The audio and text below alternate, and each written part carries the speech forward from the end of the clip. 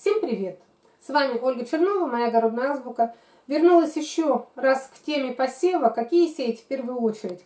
Когда я раскладывала здесь пакетики, куча была пакетиков, я говорила, что я отбираю, вот эти буду высокорослые сеять в первую очередь, средние в середине, а скороспелые в конце. И до сих пор находятся люди, которые пишут. Мне прям одна зрительница написала – о чем вы говорите? Скороспелые и ранние нужно сеять в первую очередь. Почитайте специальную литературу. Но специальную литературу я читаю всю жизнь. Вот сейчас представьте, что будет, если я посею в первую очередь скороспелый или ранний. Вот у меня есть ренет, ну, 70 дней или ультраскороспелый. Пусть вот я его посею. Я его посею в начале февраля вместо высокорослых. 70 дней период у него вегетации. Пусть он 10 февраля взошел. Февраль 10 марта будет месяц, 10 апреля будет два месяца, 10 э, апреля. Значит, в середине апреля он будет готов у меня к плодоношению. Он будет готов у меня к плодоношению, и, скорее всего, передержать его в рассаде не удастся, потому что он же ведь все-таки начнет уже цвести и завязывать плоды. И хотя можно, конечно, сделать ему вторую или третью пикировку, чтобы его немножко дотянуть до время высадки, но ведь это, вы поймите, это такие обычно ранние, скороспелые, это маленькие кустики, это такие компактные растения, у них происходит очень-очень быстро. Поэтому мы их оставляем на последнюю очередь. Если мы их впереди позднеспелых посеем, то мы будем вот с этими, с горшочками носиться, на которых уже будут болтаться вот эти вот балаболочки, помидорки, и куда их потом девать. Но сейчас я все снова расскажу.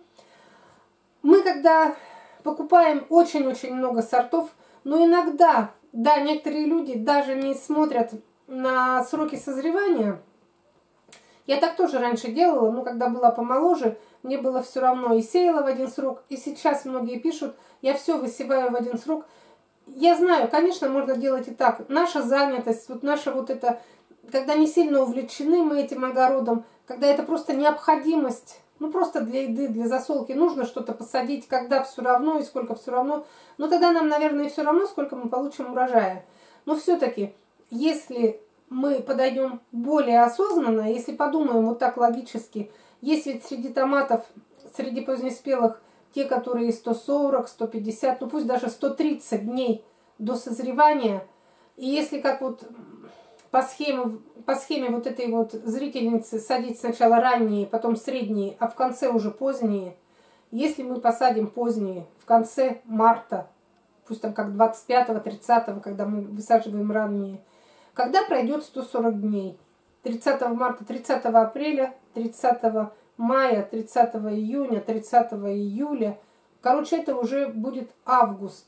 А скорее всего, когда вот заявлен вот этот срок, это ведь заявлен срок первого, первого начавшего спеть плода. Значит, это будет август или сентябрь. И в результате будем ждать все лето. Ладно, я не буду говорить о том, что говорят и пишут в интернете. Это всякие там есть такие утверждение, что даже это... Я сейчас хочу рассказать о конкретных датах посева томатов, не слушая всех этих комментаторов, расскажу, когда сеют у нас в сибирском регионе. Сеют так всегда.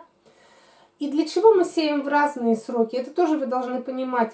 Мы же хотим получить не только богатый урожай, а мы хотим получить урожай растянутый, вот чтобы было растянуто плодоношение от самого раннего, от самого первого плода и в течение всего-всего-всего-всего лета.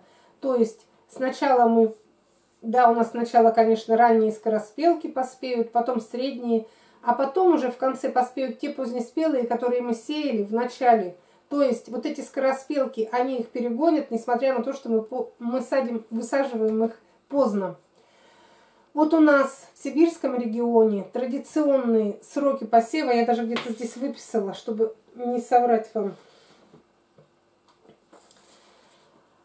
Начинать посев все-таки рекомендация специалистов, как раз в той специальной литературе рекомендация специалистов начинать посев с поздних спелых сортов. Если это для открытого грунта, то самые такие оптимальные посевы 10-15 марта. Вот эти поздняки мы сеем 10-15 марта. Если для теплицы, то мы вперед забегаем на 2-4 недели. От чего такой срок разный? 2-4 недели. Мы знаем, что есть у нас теплица просто, которая вообще не утепленная. Есть у нас теплица, в которой люди еще закрывают, еще делают теплицу в теплице. И есть у нас теплица, которая оборудована подогревом. Подогревом воздуха, там всякие тепловые пушки, там сверху висят обогреватели, вот сейчас даже подогрев пола. Поэтому 2-4 недели это в зависимости от ваших условий. Вообще, если теплица без подогрева, то я всегда говорю, желательно иметь все равно на запасе все эти укрывные материалы, все эти дуги, потому что теплица, она не спасает от заморозка минус 7. И бывает, что мы высадим, апрель даже не страшен, вот как люди пишут, в апреле обычно тепло, а в мае и даже в, сред... в начале июня у нас в Сибири могут быть заморозки. Посеяв рано, вот если 10 мы сеем для открытого грунта, значит 4 недели отступаем. 10 февраля уже можно сеять вполне. Это массовые посевы для тех, у кого теплицы оборудованы, позднеспелых для теплиц. Все, вот это вот вот это именно те сроки, которые рекомендуют нам. Это массовые посевы. 10-15 марта для открытого начинаем грунта, позднеспелые, а на 2 или на 4 позже раньше это для теплиц, в зависимости от условий, какие вы там можете им создать. Потом среднеспелые мы высеваем позже, через неделю, через две недели. Это как бы вот эта основная масса, среднеспелые, это основная масса всех наших посевов томатов, потому что позднеспелые томаты для открытого грунта в сибирском регионе некоторые даже не высевают, потому что они не успевают вызревать. Несмотря на то, что мы их рано сеем, несмотря на все эти наши усилия, когда у нас первые заморозки бывают в сентябре, бывает, что к этому времени ну, не успел позднеспелый томат весь вызреть. И люди один раз посеяв без теплицы, Второй раз посеяв, третий, не дождавшись спелых плодов, отказываются от позднеспелых. Поэтому я и говорю, у нас вот эта средняя, среднеспелая, она основная масса всех. Потому что скороспелки мы садим немножко в маленьком количестве, а среднеспелые томаты у нас в сибирском регионе составляют основную часть для тех, у кого нет теплицы. И вот эти среднеспелые томаты у нас, вот эти даты, они не меняются очень давно, с 15 по 30, опять же, вот этот разброс две недели, каждый решает сам. Или он пораньше посеет, или он будет, например, более взрослую рассаду высаживать, или он пораньше высадит в открытый грунт, пленочкой прикроет. Это зависит опять все от условий, но с 15 по 30 марта уже все среднеспелые томаты в сибирском регионе должны быть посеяны. Ну и, конечно, скороспелки.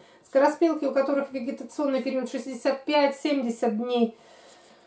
Мы сеем в последнюю очередь, вот как раз с этого числа начинается, с, с конца марта, можно сеять в апреле.